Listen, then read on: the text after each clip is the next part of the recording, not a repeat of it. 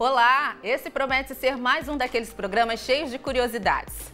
O papo agora é sobre insetos. Eles que compõem a maior diversidade de vida animal do planeta. Pudera, 900 mil espécies já foram descritas, mas pesquisadores acreditam que esse número pode aí ultrapassar os 7 milhões.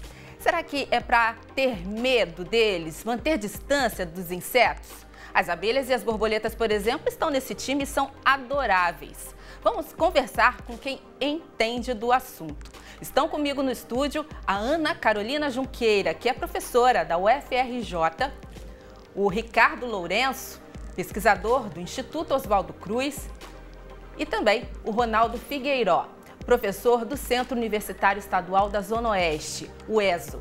Sejam bem-vindos ao Conexão. Acho que vai ser um programa bem bacana, assim, que vai trazer informações novas para a gente. Inclusive, eu começo com você, Ricardo, é, querendo saber, é para a gente realmente temer os insetos, sair por aí dando chineladas, raquetadas neles? Afinal, qual é a missão desses animais? É para ter, é temer algo, alguns, alguns, insetos, não é? Porque tem insetos que causam doenças, insetos que transmitem doenças. Então, a gente tem que temer e, e de fato, ter temor de algum desses insetos mas a grande maioria não é. A grande maioria faz parte do ecossistema, de toda a vida do planeta, é, polinizando as flores para não dar os frutos, né? muitos frutos de materiais, dizer, a seringueira na floresta não tem ninguém que vai lá semear, é uma mosquinha que vai lá fazer a polinização para poder ter outras seringueiras no planeta e assim por diante. E insetos também estão na cadeia alimentar de outros insetos e de animais, como animais insetívoros, mamíferos ou de aves. Tem pássaros que só comem insetos e assim por diante. Então faz parte de. Tem insetos muito importantes economicamente, como você já falou da abelha, não é verdade? Que produz mel, é enfim. É, tem insetos muito importantes. Tem insetos muito nocivos, como os cupins e tudo mais. Mas fazem parte, tem insetos que as têm... As pulgas, as baratas. As pulgas, as baratas, exatamente. Mas fazem parte, né? Fazem parte de todo um ecossistema.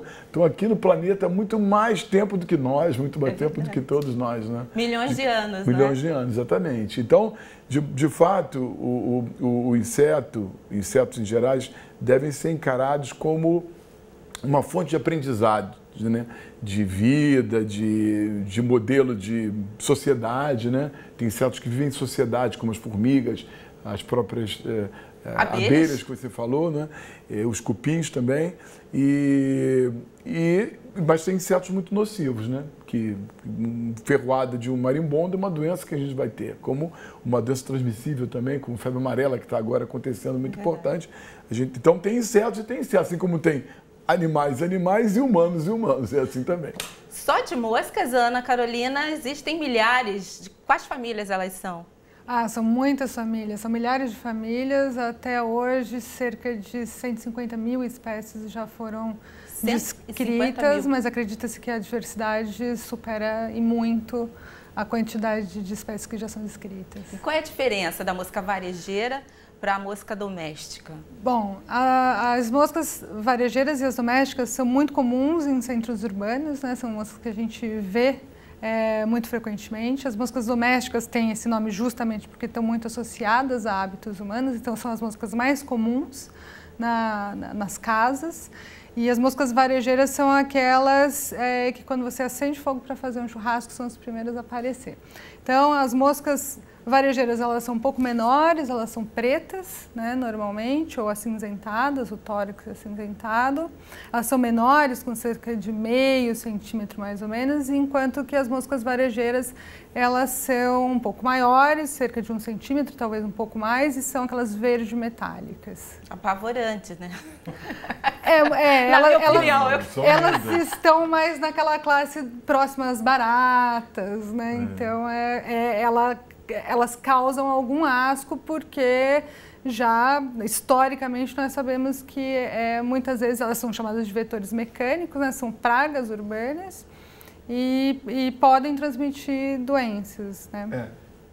Quando ela disse em vetor mecânico, é interessante esclarecer, não é? Pois é. Nós falamos eh, na biologia, na parasitologia, que tem vetores biológicos e mecânicos. O mecânico transmite uma, uma infecção, um parasito, por exemplo, é quase como um carimbo que você molha no local e transmite para o outro. Aquele parasito não tem nenhuma relação fisiológica, bioquímica, nada com aquele inseto.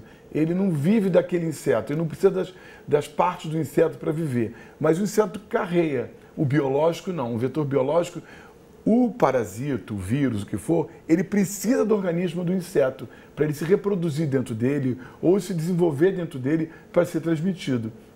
Então, no primeiro caso da mecânica, como ela falou, pode ser um inseto que transmite com a patinha que sujou no local sujo e pousa num local limpo, ou numa ferida da pessoa. Na comida, no caso das ou na moscas, comida, né? Ou na, na, numa ferida. E Também. ao contrário de um mosquito, que pega, por exemplo, uma infecção da febre amarela, ele suga um animal, um macaco, e o vírus se reproduz dentro dele, ou seja, replica em milhares de, de, de vírus, para depois ele picar o outro indivíduo e transmitir pela picada. Então, o, o organismo do, do inseto é necessário para esse vetor biológico diferente do mecânico. Agora, Ronaldo, eu dando uma pesquisada, encontrei uma classificação lá, insetos aquáticos. Hum. Como defini-los? O que é um inseto aquático? O que é um inseto aquático? Inseto aquático é todo aquele inseto que tem uma fase da vida dele que é no ambiente aquático. Não são insetos que vivem a sua vida toda no ambiente aquático. Uma parte dela é. Então, hoje, a gente tem vários insetos aquáticos sendo Aedes aegypti. Aedes aegypti certamente é a maior celebridade dentre os insetos aquáticos, mas na verdade a gente tem uma gama enorme de organismos que caem nessa classificação. Muitos deles nada tem a ver com transmissão de doenças. Muitos deles são polinizadores, muitos deles têm papel, por exemplo, de controlar o tamanho de outras populações. O tamanho de uma população na natureza, por exemplo, o tamanho da população de Aedes aegypti, ela não é afetada só pelo clima tem as outras espécies também, tem os seus competidores naturais, tem os seus predadores. Então, tudo isso, digamos assim, contribui para um equilíbrio bem delicado que é o equilíbrio ecossistêmico. Ali tem, é, a gente está com, com essa página aberta, é uma página que o, que o Ronaldo mantém, e aquela ilustração ali são de larvas? Sim, isso são larvas de borrachudos. Quem de são os borrachudos? Borrachudos são insetos hematofágicos. Todo mundo já ouviu falar de borrachudo mas nem sempre faz a relação com que inseto é esse. Borrachudo é aquele inseto que vem te picar quando você vai tomar um banho de rio, quando você está próximo numa área que tem muitos rios. Por quê? Porque as larvas deles, diferentes da larva do Aedes aegypti e de outros mosquitos, elas se criam em ambiente de água corrente. Então a gente tem inseto aquático que é de água parada e de água corrente. No caso dos simulídeos, eles são, que é o nome científico que a gente dá à família é, dos borrachudos, eles se criam em água corrente diferente dos outros insetos que se alimentam de sangue que a gente conhece. Qual é a missão deles no meio ambiente? Então, na verdade. Eles são predadores? Você tem a mais diversa é, variedade de hábitos alimentares. Você tem desde insetos que são é, predadores vorazes, até insetos que são só filtradores na sua fase aquática, ficam se alimentando basicamente de alimentos, é, de partículas orgânicas em suspensão na água, aquelas pequenas partículas ali de matéria orgânica que são carreadas pelo rio, pela água parada. Agora, na fase adulta, a maioria dos insetos, eles basicamente são fitófagos e se alimentam de tecido vegetal, embora alguns necessitem do chamado repaste sanguíneo, que é essa refeição, assim, digamos, de sangue para maturar os ovos, como é o caso do Aedes aegypti, né? das fêmeas do Aedes aegypti, precisamente. Mas definir a extensão do papel dos insetos aquáticos, eles começam desde por servir de alimento para toda uma teia trófica, uma teia alimentar complexa, até esses equilíbrios realmente que eles acabam contribuindo, né, para os equilíbrios populacionais competindo entre si. Então você tem polinização, você tem regulação populacional, que é esse controle, assim, digamos, das demais populações. Você tem, na verdade, múltiplos papéis deles no ambiente. A gente tende a, quando falar de insetos aquáticos, pensar principalmente naqueles que nos picam. Exato mas existe uma infinidade de insetos aquáticos Muito que a gente mais. às vezes nem tem nome em português, né? Tem tantos deles que em inglês você tem nomes um vulgares, mas em português você não tem. Classificar. Por quê? Porque eles não estão picando ninguém, eles não estão é, atacando nenhuma, nenhum cultivar de interesse econômico, então nem ganham nome mas eles são importantes polinizadores estão, de é, estão, então, outros estão trabalhando silenciosamente, Exatamente. controlando outros insetos. A larva de uma lavadeira, por exemplo. A, la, a, lavadeira, durante a vida toda, que é longa durante a fase aquática, ela, ela come outros insetos, como larva, por exemplo, de mosquito, pode Então ela está ajudando a controlar silenciosamente, sem nós pagarmos nada, ajudando a controlar formas aquáticas. E quando elas saem da água, que as lavadeiras comem outros insetos. Então elas vivem controlando a população de insetos. Isso são muito importantes. Por exemplo, a gente não dá a menor bola para a lavadeira. Diga-se passagem, é. nelas que eu estava pensando quando falei dos predadores vorazes. Dentre é. os insetos aquáticos, talvez seja Agora eu quero saber da Ana tem. Carolina a questão das moscas em si. O que você, você estuda a relação das moscas com possíveis surtos de doenças, né? O que você já destaca para gente?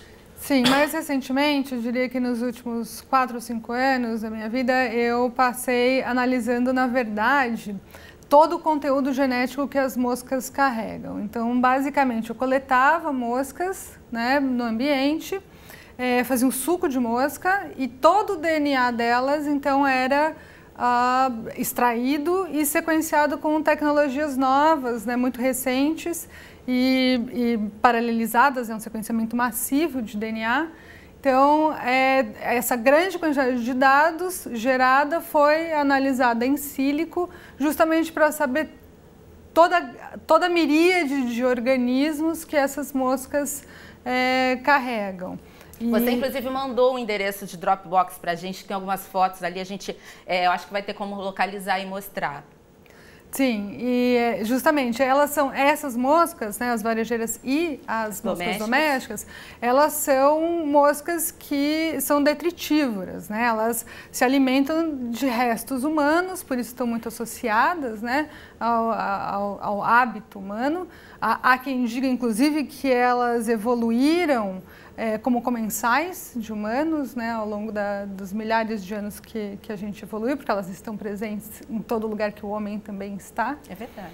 E elas comem os restos, realmente, né? Os lixos, matéria orgânica em decomposição, co é, colocam ovos em Não corpos. Não tem nada mais incômodo do que a gente estar é, tá ali preparando um churrasco chega a mosca Chega a mosca, exatamente. São, a carne crua atrai. São os primeiros insetos a sentirem é, o, o odor né, da matéria orgânica em decomposição. É... Como, como a gente faz para afastar? Só retirando esse, esse, essa carne, esse lixo, esse, esse resíduo essa, essa é uma, é uma prática né, higiênica, porque como elas vivem nesses locais antigênicos e tem muita associação com o homem, elas transportam, então, né, realmente assim, como se fossem boings né, de, de, do lixo ou de matéria orgânica de decomposição para a nossa mesa, né, para os talheres e tudo. Então, a primeira coisa seria realmente manter o ambiente relativamente limpo. É, seria também a utilizar, existem né, algumas formas de controle de moscas, desde as larvas, né, o controle das larvas né, nessas ah, regiões antigênicas, lixões abertos, Sim. esgoto, céu aberto também é uma coisa muito importante, você tratar isso. É, e não só isso, como também tem aqueles pa pa papéis é, é, que são grudentos, né? muitas vezes eles atraem as moscas e elas ficam presas. Então existem outras formas, ou sacos de água até podem é, é, repelir. Saco de água? Sim, eles é, atraem as moscas e isso tira elas do foco de convivência humana. Qualquer tipo de saco plástico saco, cheio d'água? Saco plástico transparente, né? Transparente. É, incolor e com água é, pendurado. É uma forma de você tirar essas moscas da mesa. Existem luzes também, né? Que são formas de você atrair é, e que aí aproveita e já dá o choque e elas morrem. Mas é. Torra se... as bichinhas, né? Exatamente. Então, essa é uma forma de você realmente fazer um controle local. Uma forma é, mais é, ampla seriam políticas públicas de controle de vetor mecânico mesmo, como se faz hoje em dia para o Aedes aegypti. Essas aí são essas são moscas varejeiras. São as varejeiras. Isso. Essas são é, conhecidas como Muito moscas bonito. da latrina. Então, elas visitam né, realmente matéria orgânica em decomposição. Esse é um peixe em decomposição que foi usado como isca. Você vê, após alguns segundos, né, elas já, já vêm e pousam né, no, na matéria orgânica em decomposição. E quando adultas, elas se alimentam né, da, da, da matéria orgânica, mas não comendo, só a partir dos líquidos, né, dos restos líquidos é, mas agem como polinizadoras na natureza também, é, até para complementar tanto é, o que os dois colegas aqui estavam falando, justamente sobre essa atuação em diferentes níveis tróficos. É interessante né? a gente falar que algumas dessas moscas que atuam como polinizadoras elas são atraídas por um odor pútrido que determinadas flores produzem. Então, é uma adaptação dessas flores. É tudo, afinal de contas, produto de um complexo processo evolutivo. Né? Aquela, aquela flor foi selecionada, aquela planta teve selecionada uma característica de um odor desagradável que para a maioria dos polinizadores não vai funcionar, mas que funciona perfeitamente para as moscas. Para moscas varejeiras. É interessante também notar que alguém tem que fazer o serviço porco. Ah, é. Então, alguém quando você tem um animal morto na floresta, um peixe morto na beira de um rio ou na beira do mar, essas moscas são importantes. São nocivas nesse aspecto, mas moscas desse mesmo grupo faz serviço porco. Qual é? De ajudar a destruir aquele corpo em decomposição para ele desaparecer. Então, alguém, ela tem esse serviço. Além de serem muito lindas, né? São brilhosas, azuis, Pois é, olhando com essas super câmeras, a gente vê até uma beleza. E tem que lembrar do bom trabalho que elas fazem ajudando a limpar o ambiente, que imagina a quantidade de animais que morrem por dia, não é? Agora, eu tenho uma curiosidade em relação geral aos insetos, que é, é muitos são super resistentes, não é? estão lá embaixo da terra, enfim, sobrevivem com altas temperaturas, temperaturas assim, é, ou muito baixas, muito altas. De onde vem essa, essa resistência? Eles estão no, no planeta há muito tempo, se passaram por várias eras, eras com temperaturas muito variáveis, muito altas, muito baixas, e eles foram se adaptando a vários ambientes subterrâneos, eh, embaixo d'água, nas serras mais altas, voando alto, muito alto. Então eles foram se adaptando a esses ambientes e depois se adaptando às condições que o homem também produziu. Por exemplo, a barata e outros insetos como os mosquitos, ou mesmo borrachudos, que mosca principalmente desenvolve resistência até aos inseticidas que a gente produz, né? Resistências metabólicas e resistências que, que acabam entrando mesmo para o seu genoma. Os filhotes de um grupo de inseto que os pais são resistentes vão nascer com resistência e demoram a perder a resistência, né? Tem que diminuir o uso de é por isso que é sempre os biólogos insistem muito em tentar fazer um controle mecânico, né? no caso do Aedes aegypti, eliminar os focos, fazer o trabalho de não deixar água parada para evitar o uso de inseticida, porque ele vai acabar gerando resistência e na hora fatal, na hora grave, que você tem que acabar com uma epidemia, você não tem arma na mão, porque os insetos estão resistentes. Agora, de onde vem os apelidos das moscas? Airbus 380, drone, peste urbana, de onde vem? Não, eu acho que é justamente isso, né? Essa, essa minha vontade justamente de fazer um monitoramento ambiental, né? ou seja, quais micro-organismos estão circulando em regiões rurais e urbanas, principalmente, usando as moscas como biosensores. É por isso que eu acabei criando é, apelidos para elas. São meus mini drones. Elas vão naturalmente para o lugar onde ninguém quer estar tá, mas é, a gente consegue captá-las novamente e analisar o, que elas trazem desse ambiente. Então, realmente sendo usadas como biosensores. Eu quero muito falar das borboletas. Você, Ricardo, uhum. é um dos idealizadores aí, enfim, reabriu o borboletário lá da Fiocruz, uhum. um espaço muito bacana. Eu vim em sua homenagem aqui a estampa da saia, que tem algo... parecem borboletas olivelas, você observou. Mas isso é uma ilustração, né? Não Só é um uma ilustração, é uma, uma homenagem. É. Me fale delas, né? Qual é a missão das borboletas aí no nosso ecossistema? Está dentro do, né, desse, desse grande leque que o Ronaldo já falou, que é de polinizar, sobretudo, ajudar a controlar. Então, eu como trabalho como ele também com inseto hematófago, como também ela que trabalha com inseto nocivo, é, via sempre as pessoas falando sempre mal dos insetos, não, não entendendo esse lado de que, apesar, por exemplo, do exemplo que ela deu muito bom, da mosca, que pode transmitir, carrear ah, bactérias, parasitos nas suas patinhas, elas também ajudam a decompor, né?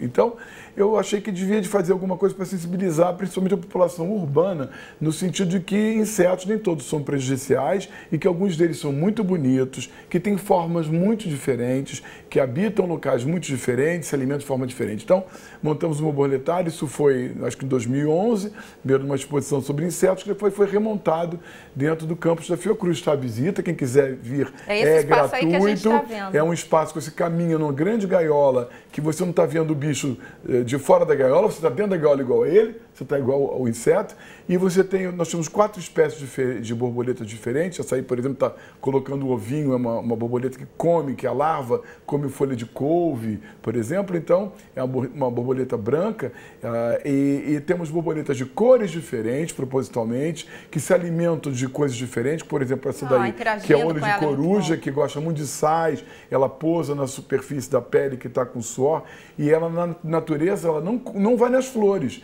ela vai nas frutas em decomposição, que muita gente não sabe que borboletas também sugam é, frutas em decomposição. Que então, isso, nós usamos esse ambiente para sensibilizar a população no sentido de que as borboletas são importantes, que os insetos em geral são importantes, através das diferentes formas desses insetos, das cores diferentes, dos ambientes e hábitos diferentes que eles fazem, né, que eles usam. Eu disse que o nosso tempo aqui passa rápido, voa rápido como uma mosca. Então, é, antes de encerrar, eu quero muito aproveitar aqui esse, os momentos que, que, que faltam é, para saber de vocês do porquê estudar, né? a dedicação de vocês em estudar os insetos, esses invertebrados. Ronaldo, você tem é, é, mestrado, você fez graduação em ecologia, não necessariamente é preciso estudar etimologia, né? Você estudou ecologia, ecologia. fez Gradua é, graduação, pós-graduação, mestrado também. Isso. Surgiu de onde esse interesse? Então, e, se a gente for pensar, a gente, do ponto de vista biológico, nós não somos uma espécie tão abundante assim no planeta. Nós não é somos nem perto, aliás, os mamíferos, o táxon dentro do qual a gente está, não está nem perto de ser o táxon mais distribuído no planeta. São os insetos. Se a gente for pensar em animal macroscópico, lógico, se a gente deixar de lado os micro-organismos, são os insetos. É a maior diversidade de vida animal. Né? Exatamente, né? a maior diversidade de vida animal. A gente pensa no leão, na zebra, então, no a gente não... É, pensa em, pensa em qualquer coisa menos A gente tem uma quantidade tão grande de insetos diferentes, tantas adaptações específicas diferentes. Minha formação sempre foi em ecologia, então sempre tive fascínio pelo papel ecossistêmico que esses animais têm. Então, minha graduação, meu mestrado, meu doutorado sempre foi na ecologia ironicamente, de um inseto hematofágico. Mas isso nunca me fez deixar de ter esse outro olhar. Esse inseto hematofágico que eu, que eu trabalho, os simulídeos, eles têm um papel ecossistêmico também, eles beneficiam a diversidade de insetos aquáticos. Eles não servem só para picar a gente, nem para transmitir ococercose, mansonelose. Eles têm um papel primordial na manutenção da diversidade. Qual que é? A larva se alimenta de partículas em suspensão, né? aquelas pequenas partículas de matéria orgânica que estão em suspensão na água. Partículas pequenas demais para que outros insetos aquáticos de algumas outras variedades se alimentem, só que eles têm baixa eficiência digestiva. Então, basicamente, entra, sai do jeito que entrou, praticamente, só que maior. Ao aumentar o tamanho dessa partícula, na verdade, esse inseto está disponibilizando uma gama imensa de organismos que não, seria capaz, não seriam capazes de pegar aquela partícula pequenininha. Então, eles são o que a gente chama de um elo trófico, um elo alimentar além de servirem de presa né, para uma infinidade de outros organismos aquáticos, tanto insetos quanto peixes, outros e vertebrados, ah, eles ainda têm esse papel. Eles são essenciais para a diversidade, são o que a gente chama de uma espécie-chave. Isso também te encanta, Ana Carolina? Então... Sim, acho que a questão da diversidade de insetos, certamente para qualquer pessoa que trabalha com inseto, deve ser uma das primeiras coisas que menciona. Né? Você estimula os jovens que, enfim, mais curiosos a a assim, interarem mais sobre os invertebrados? Sim, sem dúvida nenhuma, mas no meu caso eu fui muito mais para a área genética, muito mais para a área genômica, Isso. né? Então, é, o meu interesse sempre foi muito entender a diversidade, não só de vida, mas da, de como a vida se forma, que é a partir do DNA. Então, essa para mim foi, foi o meu Start. Foi onde eu comecei realmente utilizando variedade de genomas e analisando, comparando a variedade de, de insetos, né, ou, ou, de moscas, ou de, de dípteros, né, que são os insetos que têm duas asas, é, em, em, em várias, vários ambientes. E no decorrer desse, desse projeto, realmente eu fui é, acabar olhando não só para o DNA das moscas, mas também de todas as bactérias e micro-organismos que estão associados a ela. E o Ricardo já fez seu comentário aqui que se encantou também pelas borboletas. É, eu era veterinário, na verdade, sou veterinário, mas Isso, meus colegas perguntam, você está trabalhando com... Não, estou trabalhando com inseto. Então, por ser veterinário, a questão da saúde pública foi muito importante, foi que levou minha carreira a estudar mosquitos, né? Que transmitem muitas coisas, né? Muitas coisas, algumas delas muito atuais e muito importantes, como a febre amarela, por exemplo, dengue, chikungunya, zika. Que é, né? Então. E eu, eu quero muito agradecer a participação de vocês e o trabalho de vocês, que para a gente é fundamental. Desejo boa sorte, viu? E espero contar com a, com a presença e os conhecimentos em outros programas, por que não? Vamos falar mais de insetos aqui. Tá certo. Muito obrigada, Helena. Um grande abraço. Obrigada a você de casa também. Espero que tenha gostado da conversa. Se quiser assistir novamente, já sabe. Basta acessar culturaplay.org. Tchau, tchau.